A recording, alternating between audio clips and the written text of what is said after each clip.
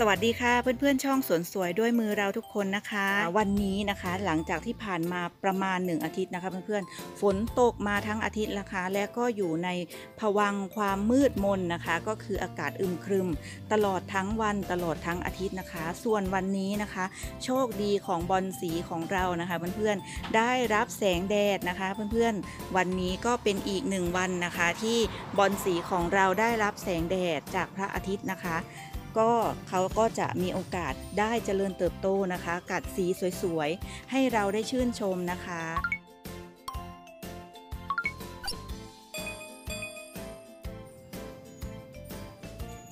นี่ค่ะเห็นไหมคะฝั่งนี้ก็จะเป็นโซนที่ไม่ค่อยจะได้รับแสงแดดนะคะ อยู่ได้อยู่ในแสงสว่างแต่ไม่ค่อยได้รับแสงแดดนะคะ ก็จะเป็นบอลสีขาวแบบนี้นะคะเพื่อนๆบอลสีขาวตัวนี้นะคะเป็นบอลสีเท้าสหัสเดชะนะคะ แล้วก็บอลสีกวนอิมสวนสวยปลูกไว้ในกระถางเดียวกันนะคะ ถ้าเราอยากให้สีของบอลสีสวยนะคะ มีขอบอสีเขียวที่เข้มจัดนะคะ พื้นใบมันวาวแบบนี้นะคะ และก็มีสีขาวที่นวลตาสะอาดแบบนี้นะคะ เราจะต้องจัดเขาไว้ในมุมที่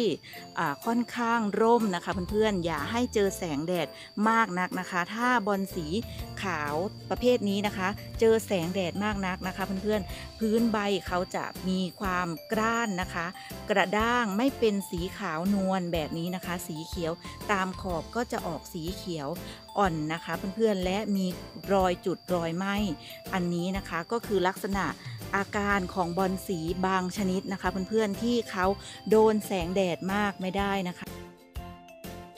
อย่างเช่นบอลสีกวนอิมนะคะ กับเท้าสหัสเดชะตัวนี้นะคะส่วนสวยบอกเลยว่าเขาเป็นบอลสีที่นะคะ ถ้าจะปลูกให้เขาสวยมีพื้นใบที่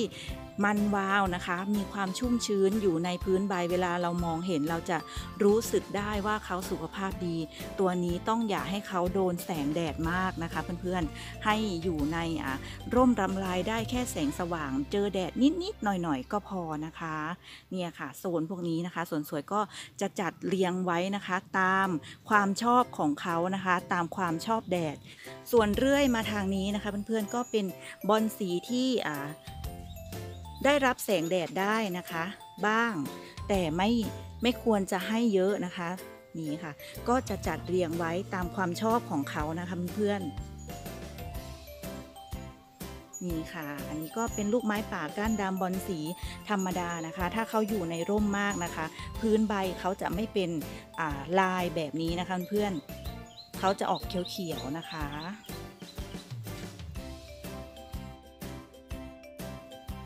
ส่วนตัวนี้นะคะก็คือยอดใหม่ของอีเหนานะคะเพื่อนๆอาอาทิตย์หนึ่งที่ผ่านมานะคะ ลักษณะ แดดไม่ค่อยมีนะคะเพื่อนๆพื้นใบเขาจะมีสีเขียวค่อนข้างเยอะนะคะ ซึ่งต่างจากใบเก่าของเขานะคะเห็นไหมคะ ใบเก่าเขาจะเส้นกระดูกค่อนข้างชัดพื้นใบก็จะออกสีขาวเยอะนะคะ ส่วนใบนี้นะคะเพื่อนๆแทงขึ้นมาใหม่นะคะ จะออกสีเขียวค่อนข้างเยอะ เพราะว่าแดดไม่ค่อยมีนะคะ ตัวนี้เขาจะไม่ค่อยได้รับแสงแดดการกัดสีของเขานะคะ ก็จะน้อยลงตามไปด้วยนะคะ อันนี้ก็คือเป็นเคล็ดลับนะคะเล็กๆน้อยๆเลยนะคะ เพื่อนๆที่เราอยากให้บอลสีสวยแบบธรรมชาติ เราต้องอาศัยพึ่งพาธรรมชาตินะคะ เพื่อนๆเราต้องรู้จักจัดวางเขาให้อยู่ตามมุมที่เขาชอบนะคะความสวยของบอลสีนะคะเพื่อนๆ จะมากหรือน้อย ขึ้นอยู่กับความดูแลเอาใจใส่ของเจ้าของ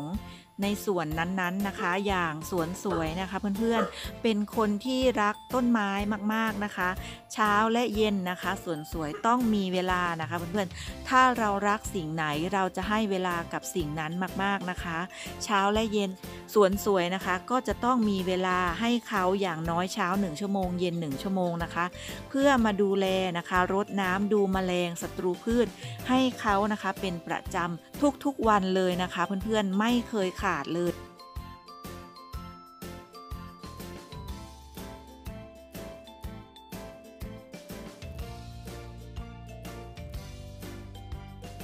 เพราะว่าการที่บอนสีหรือต้นไม้ของเรานะคะ จะต้นใหญ่ใบโตจเจริญเติบโตสวยงามได้ตลอดนะคะ ขึ้นอยู่กับเจ้าของสวนนั้นๆนะคะ เดี๋ยวสวนสวยจะพาไปดูต้นไม้ในสวนของ ที่บ้านสวนสวยนะคะ ทุกต้นนะคะ ไม่มีใบเหี่ยวแห้ง ไม่มีแมลงนะคะ ไม่มีแมลงศัตรูพืชเลย กิ่งแห้งก้านแห้งนะคะ จะมีแบบน้อยมากๆนะคะ ไม่ว่าจะเป็นต้นไม้ต้นเล็กต้นใหญ่แบบไหนนะคะ เพื่อนๆตัวนี้นะคะอยู่ที่การดูแลนะคะ และก็การเอาใจใส่นะคะ นี่ค่ะ อย่างบอลสีจอมทัพกระถางนี้นะคะ ที่เพื่อนๆเห็นสีสวยๆ ใบเข้มๆ แบบนี้นะคะ เขาอยู่แดดเยอะไม่ได้นะคะเพื่อน ถ้าเขาโดนแดดเยอะและจัดมากนะคะ พื้นใบเขาจะไม่แวววาววับมันแผลบแบบนี้นะคะเพื่อนตัวนี้ ถ้าเราเข้าใจบอลสีนะคะ เราจะรู้ว่าบอลสีต้นไหนโดนแดดได้มากน้อยเพียงไหนนะคะ ถึงจะอยู่ในบริเวณที่ใกล้เคียงกันนะคะ แต่โซนนี้จะเป็นโซนที่อยู่ในร่มนะคะเพื่อนๆ อันนี้นะคะ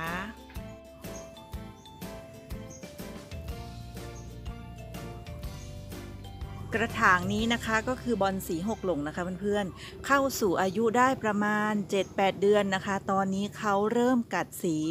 ได้อย่างเต็มที่แล้วนะคะ แต่ฟอร์มใบเขายังไม่ใหญ่โตเท่าไหร่นะคะ ก็ใหญ่ประมาณฝ่ามือประมาณนี้นะคะ นี่ค่ะเพื่อนๆอย่างกระถางนี้นะคะ เดี๋ยวสวนสวยจะยกมาคู่กันให้ดูนะคะ จริงๆ แล้วการที่เราจะเลี้ยงบอลสีหกหลงได้แบบใบใหญ่ใบสวยขนาดนี้นะคะเพื่อนใช้ระยะเวลานะคะ เกิน 1 ปีนะคะกอนี้นะคะ อายุเขานะคะเกิน 1 ปีนะคะ เพราะว่าาการที่เขาจะ ต้นใหญ่ใบโตได้ประมาณนี้นะคะ เขาจะมีอายุค่อนข้างเยอะแล้วนะคะ เกิน 1 ปีประมาณนี้นะคะเพื่อนๆ ส่วนตัวนี้นะคะ 7-8 เดือนค่ะเพื่อนๆ ใช้ระยะเวลานานมาก ถ้าบอลสีอายุประมาณ 7-8 เดือนนะคะเพื่อนๆแล้วกัดสีได้ประมาณนี้นะคะ กัดสีได้ทั้งใบแบบนี้หมายความว่าเขาจะต้องไม่มีโรคนะคะเพื่อนๆและไม่มีการยุบใบ และไม่มีการหยุดชะงักการเจริญเติบโตใด ๆ ทั้งสิ้นนะคะการเจริญเติบโตจะต้องมีต่อเนื่องนะคะ ทุกวันทุกอาทิตย์ทุกเดือนนะคะ ผ่านระยะเวลามานี่เลยค่ะเพื่อนๆ ได้ฟอร์มกอสวยๆ แบบนี้เลยนะคะ